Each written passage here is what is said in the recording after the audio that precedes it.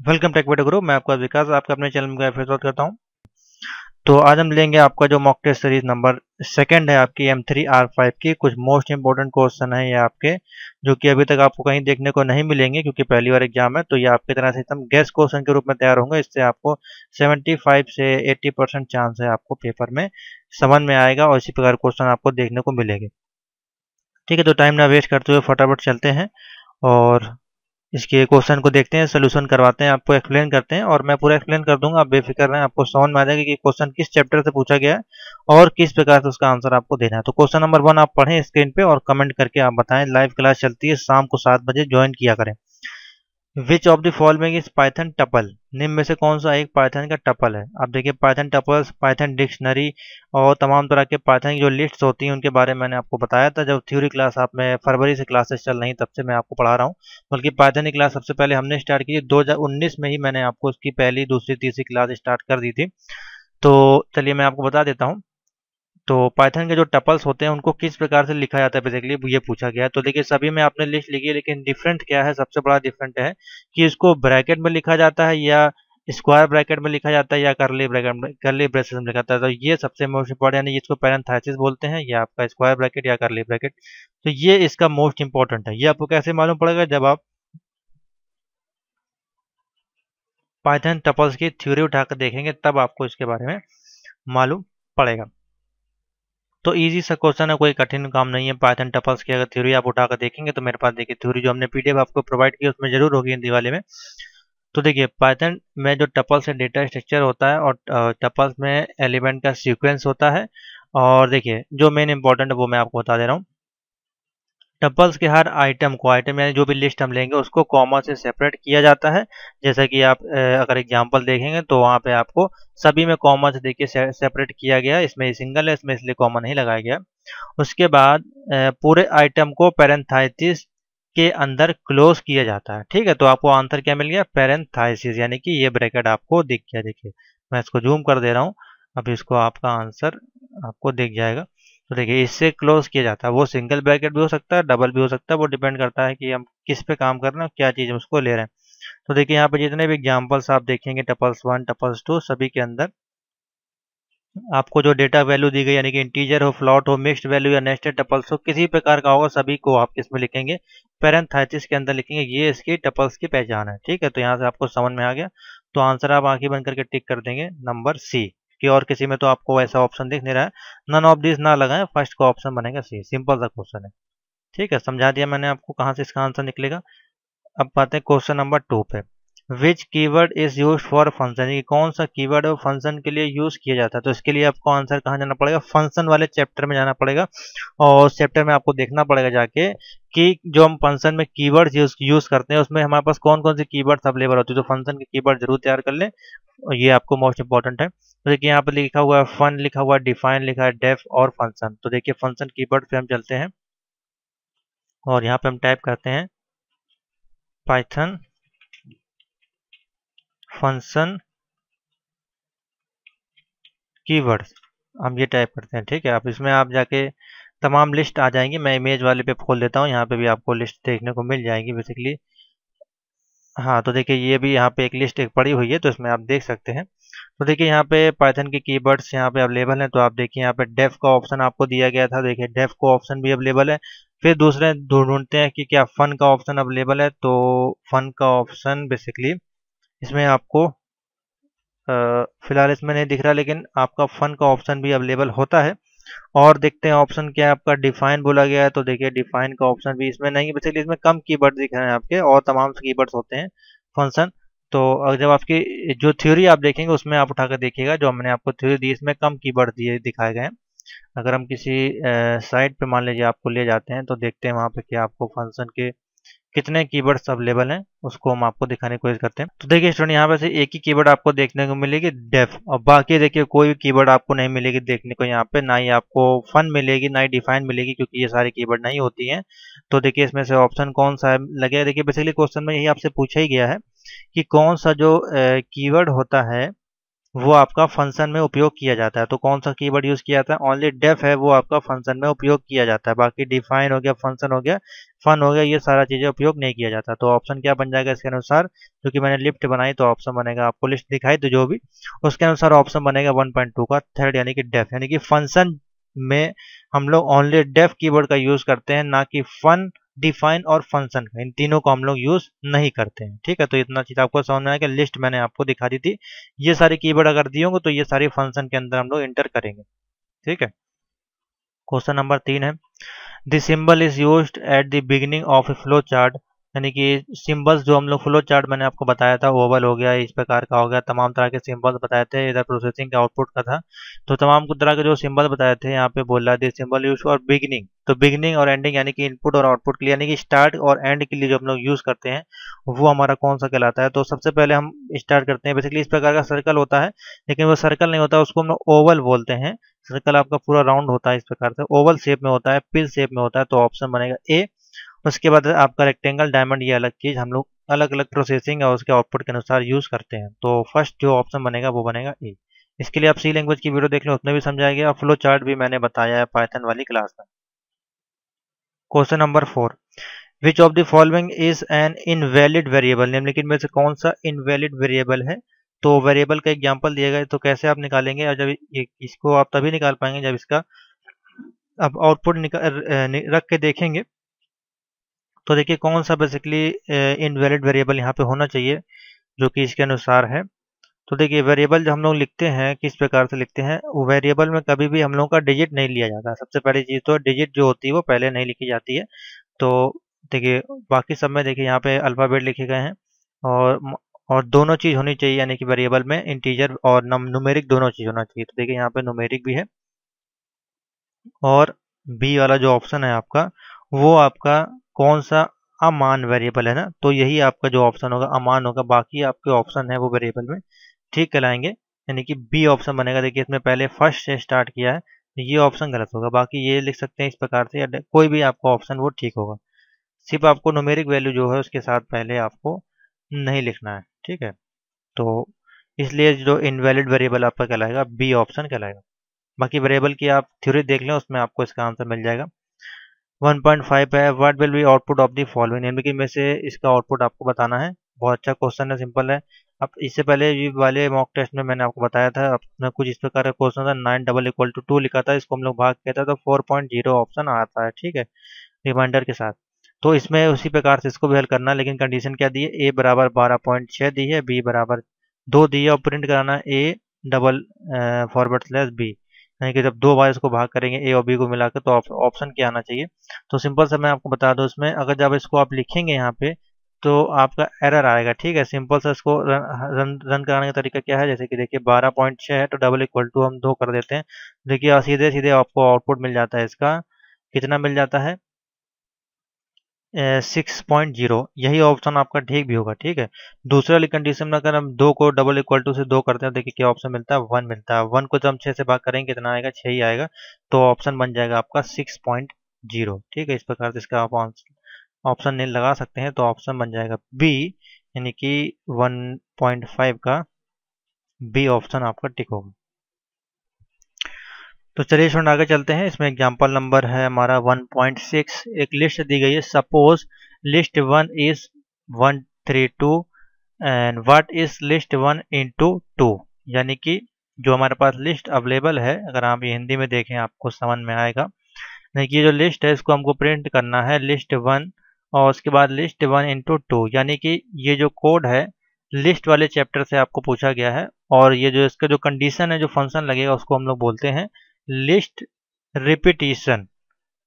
Repetition, इसको बोलते हैं जो फ़ंक्शन यहाँ पे यूज़ हो रहा है स्टार्ट टू इसका मतलब है, यानी कि जो भी हम प्रिंट करेंगे, उसको वो एज एज वेल एज वो रिपीट कर देगा। यानी कि जो हमने लिस्ट बनाई है तो इसका आउटपुट किस प्रकार से निकालेंगे? तो आउटपुट जब आएगा इसका तो आएगा लिस्ट इस प्रकार से। लिस्ट के अंदर हमारे पास क्या है? पहले हमने लिया one comma three comma two और कितना कंडीशन बोल रहा है स्टार टू यानी कि दो बार। तो इसका एक बार और हो बहु इसकी कॉपी आपको मिल जाएगी, यानी कि one comma three comma two और ब्रैकेट बंद हो जाएगा। तो ये ऑप्शन देखिए कहाँ दिया गया है? ऑप्शन नंबर तीन में दिया एक, दो, तीन सॉरी ऑप्शन नंबर कितना है आपका क्वेश्चन नंबर सिक्स है बी में दिया गया तो बी में हम टिक कर देते हैं। तो देखिए कौन सा ऑप्शन इसका ठीक हो जाएगा? इस क्वेश्चन का ऑप्शन बनेगा नंबर बी यानी कि ये लिस्ट को रिपीट करता है। अब यहाँ पे स्टार मान लीजिए तीन होता है तो इसको हम तीन बार, एक तीन, दो लिख देते हैं। चार होता तो चार बार। इस प्रकार से इस कंडीशन को कहते हैं लिस्ट रिपीटिशन यानी कि लिस्ट को रिपीट करना। ठीक है तो इसके अनुसार ऑप्शन बनेगा। ये थ्योरी मैंने जो पढ़ाई होगी उसमें दिया होगा। बाकी अगर आप एग्ज़ाम्पल भी देखेंगे यहाँ पे, इसको लिस्ट रिपीटिशन कहा जाता है। देखिए यहाँ पे एग्ज़ाम्पल अगर हमने यहाँ से स्टार तीन किया तो इसने तीन बार वही कंडीशन आपको प्रिंट करके दिखा दी। ठीक है। क्वेश्चन नंबर है हमारे पास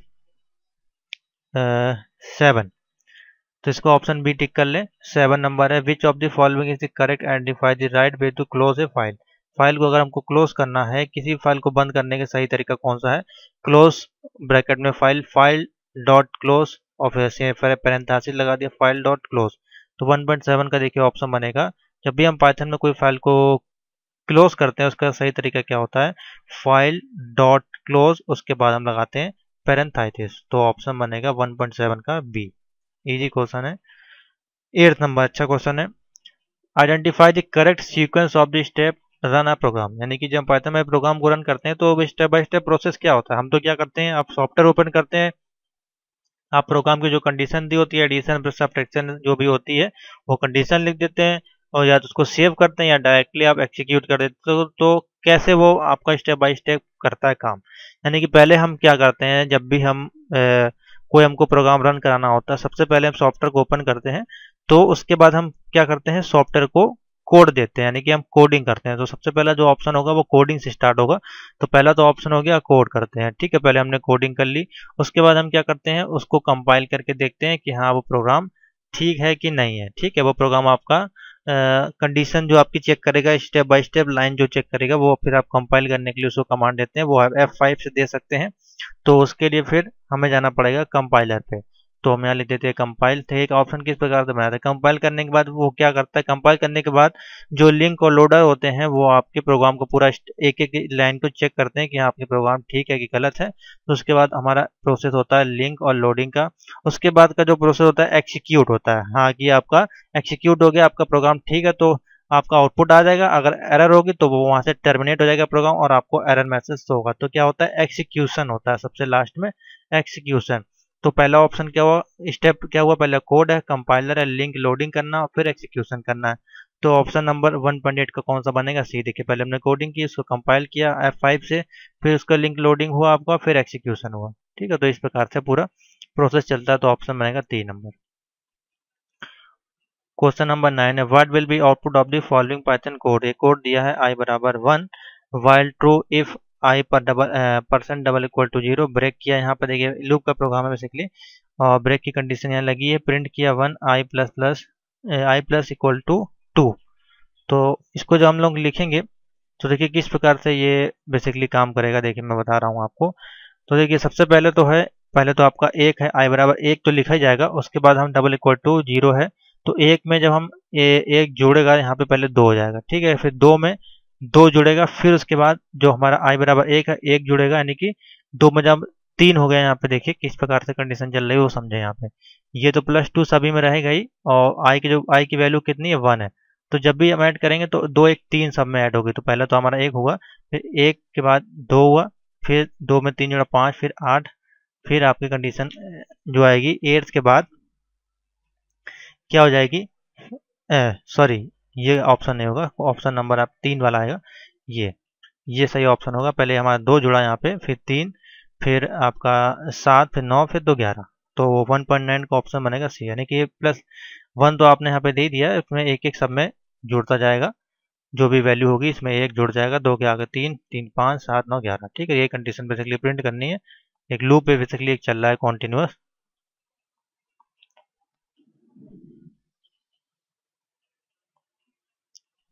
आगे चलते हैं लास्ट क्वेश्चन इसका।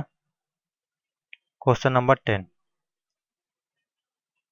हाँ ये है आपका ten number all keyword in Python are यानी कि पाइथन के जो कीवर्ड्स हम लिखते हैं, जैसे कि कीवर्ड लगी है, ये कीवर्ड जो भी लिखते हैं तो उनको हम लोअर केस में लिखते हैं अपर केस में या कैपिटलाइज में लिखते हैं, यानी कि पहला कैरेक्टर कैपिटल लिख दिया आपने ब्रेक का, फिर उसके बाद ये इस प्रकार से, या लिस्ट लिख रहे हैं तो आप लिस्ट में पहला कैपिटल इस प्रकार से लिख दिया, या पूरा तो किस प्रकार से लिखा था, क्या कंडीशन ठीक होगी तो सिंपल सा है आपका नन ऑफ़ दी अबव आएगा, इसमें से कोई ऑप्शन नहीं होगा, ठीक है? वो डिपेंड करता है कि आप कौन सा कीवर्ड यूज़ कर रहे हैं। कुछ कीवर्ड जो है आपके स्मॉल में भी लिखे जाते हैं और कैपिटल में भी तो इसलिए इसमें ऑप्शन जो बनेगा नन ऑफ़ दिस बनेगा।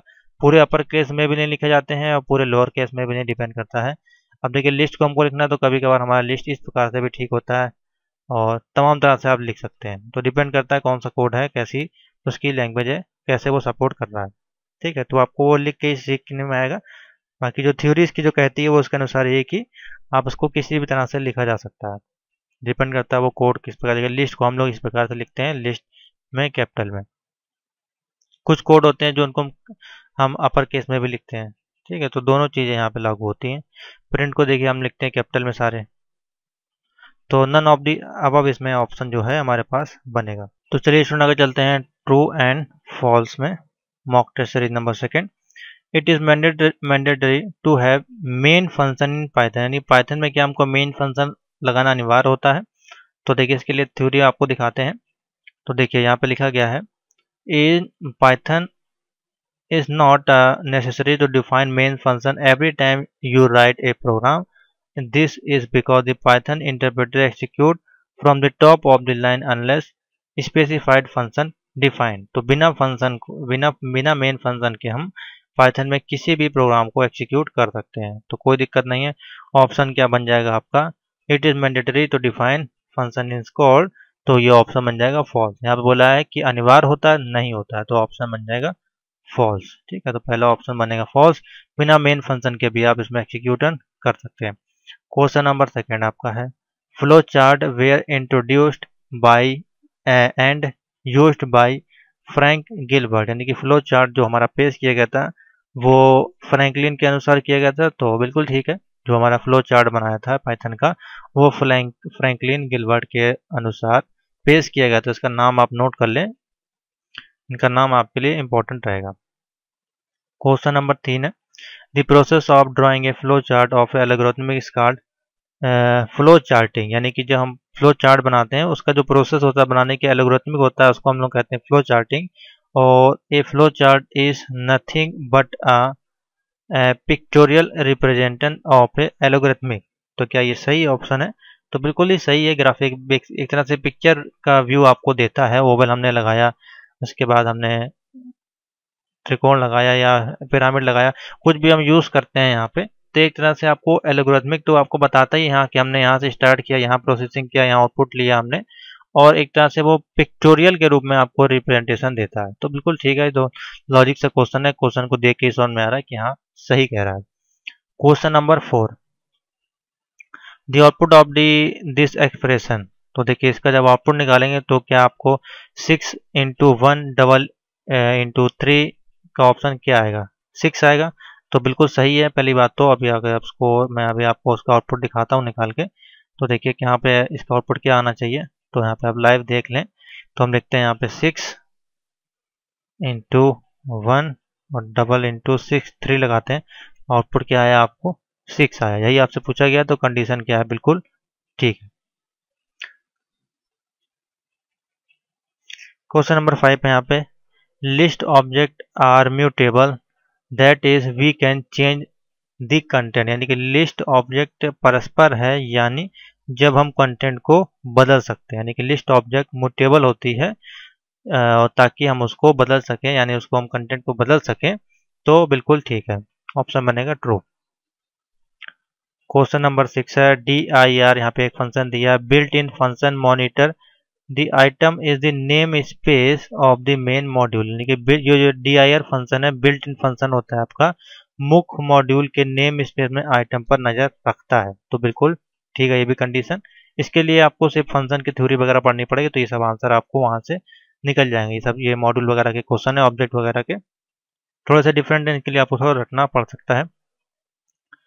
2.7 in in Python every Python file जो होती है डॉट पी इस, प्रकार से सेव होती है आपकी एक्ट ऐसे मॉड्यूल जो मॉड्यूलर प्रोग्राम है is technique to split your code into separate part यानी कि पाइथन की जो प्रत्येक फ़ाइल होती है स्टार डॉट पी वाई से हम सेव करते हैं। ये एक मॉड्यूल के रूप में कार्य करता है और जो भी मॉड्यूलर प्रोग्रामिंग पर आपका कोड को अलग अलग हिस्सों में विभाजित करने की एक तकनीकी आपकी होती है तो क्या ये ऑप्शन ठीक है? तो बिल्कुल सही है कोई भी हम पाइथन की जब फ़ाइल को हम सेव करते हैं तो आपकी इसी फ़ाइल में सेव होती है। और वो एक तरह से मॉड्यूलर प्रोग्रामिंग टेक्निक आपकी कहलाती है और उसको हम अलग अलग पार्ट में सेपरेट कर सकते हैं एक एक्सिक्यूशन एक एक प्रोग्राम बनाने के लिए। तो ऑप्शन बनेगा बिल्कुल। ठीक है ट्रू कंडीशन है। 2.7 दी सीक मेथड सीक एक मेथड है मैंने आपको उसके बारे में पढ़ाई थी थ्योरी में।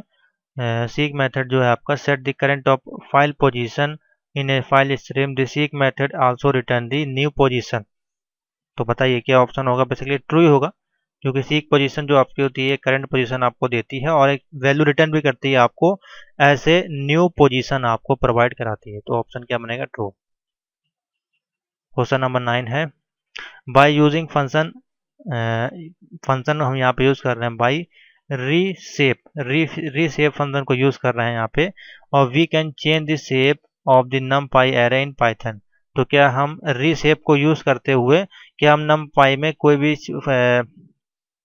जो भी शेप हम बनाना चाह रहे हैं, क्या हम उसको चेंज कर सकते हैं इस कोड के अनुसार जब हम नम पाई यूज़ कर रहे हैं पाइथन में? तो बिल्कुल ठीक है, हम बिल्कुल भी इसको चेंज कर सकते हैं। उसका फ़ंक्शन ही है ये जो री री री सेव और पैरेंथाइटिस जो यहाँ पर लगा हुआ है, ये नम पाई का ही एरे का फ़ंक्शन है। ठीक है तो ऑप्शन बनेगा ट्रू 2.10 है compiler report all error with line number and produce faster object code then interpreter यानी कि जो कंपाइलर लाइन नंबरों के साथ सभी एरर को रिपोर्ट करता है और तेज़ी से ऑब्जेक्ट कोड को इंटरप्रेट बनाता है। तो बिल्कुल ठीक है, ये भी राइट है कंडीशन जो आपका कंपाइलर होता है वो आपके सभी एरर को चेक करता है और देखता है कि हाँ कौन सी लाइन में फटाल एरर आई है, कहाँ पे कौन सी लाइन एरर आई है, वो आपको फटाफट एक ही सेकंड के अंदर जैसे ही आपने एक्सिक्यूट किया प्रोग्राम को, उसके बाद ही वो आपको तुरंत आउटपुट में बता देता है कि हाँ आपका ये आउटपुट आया, जैसे कि अभी मैंने आपको आउटपुट दिखाया था। अगर आप कोई भी गलत प्रोग्राम लिखेंगे, जैसे मान लीजिए अभी हम यहाँ पे एक प्रोग्राम बनाते हैं, इस प्रकार से लिस्ट वन लिख के हम कुछ भी लिखने की कोशिश करते हैं। अभी इसको देखिए, आपको तुरंत बता देगा कि हाँ इसमें कोई एरर आई है। ये लिस्ट में देखिए एरर इस प्रकार से आ गई। प्रोग्राम आपका ठीक होगा तो किस प्रकार से आपका प्रिंट हो जाएगा? इस प्रकार से नाइन इंटू सिक्स किया तो चौवन आपका प्रिंट हो गया। तब कोई एरर आपकी नहीं आएगी। विद इन सेकेंड में वो आपको एक्सिक्यूशन दिखाएगा, यानी कि फास्ट ऑब्जेक्ट करता है। धीमे धीमे अपनी कॉन्टिन्यू तैयारी भी करते रहें। ठीक है तो थैंक यू फॉर वॉचिंग